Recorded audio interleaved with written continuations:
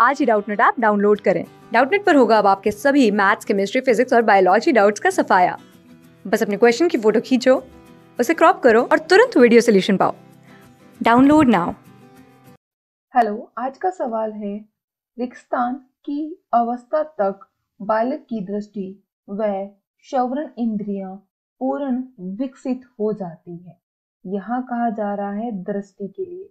दृष्टि का मतलब किसके लिए होता है? तो दृष्टि से आशय होता है, देखना, देखने की क्षमता या देखना। और दूसरा कहा गया है श्रवण ग्रंथियाँ। तो श्रवण इंद्रियाँ श्रवण ग्रंथियाँ कौन सी होती हैं, जिससे क्या किया जाता है, सुना जाता है। तो देखना और सुनना, दोनों की जो यहाँ पर संवेदी अंग है, इनके लिए कहा जाता है इंद्रियाँ। तो ये जो विकसित होती हैं, ये पूर्ण रूप से विकसित कौन सी आयु के अंदर देखी जाती है।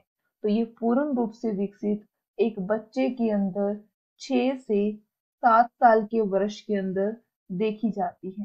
तो छह से सात साल के वर्ष या आयु के अंदर बच्चे में पूर्ण रूप से देखने की और सुनने की क्षमता करने वाली जो इंद्रियाँ हैं वह विकसित हो जाती हैं। सो यहाँ छह या सात वर्ष ही आपका उत्तर है। धन्यवाद। क्लास सिक्स से ट्वेल्थ से लेके NEET I I T JEE Mains और एडवांस के लेवल तक। दस मिलियन से ज़्यादा स्टूडेंट्स का भरोसा।